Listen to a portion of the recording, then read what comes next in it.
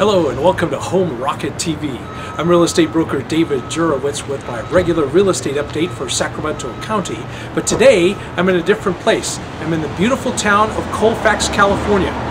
Colfax has about uh, between 1 and 2,000 people. It's known for its historic downtown and railroad areas. It's a very nice place and you know people are starting to think about living here as an alternative to maybe Sacramento County and we do service this area. In fact, I'm here today looking at properties for a client. So it's uh, very nice. I'm glad to be here. I had a really nice meal at one of the local eateries.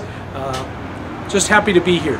Now I want to tell you what's going on in Sacramento County. There's a little over 5,000 houses for sale in the county, uh, 1,500 closed escrow in December 2010.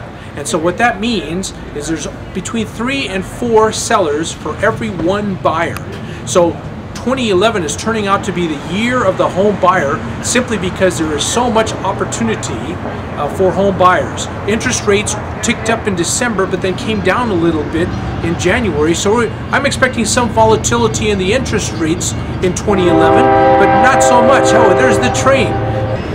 Of the types of properties that are available, I would say the bank repos offer some of the best values, and to that end, this year we are focused on helping people locate them and buy them at a very good price. The place to start is our website, mysacramentohomes.com. Mysacramentohomes.com. Fill out the form, and we'll get started looking for properties in your area, your price range, and also we'll be helping you shop for financing as well, because financing is just as critical as the price. So give that site a visit today.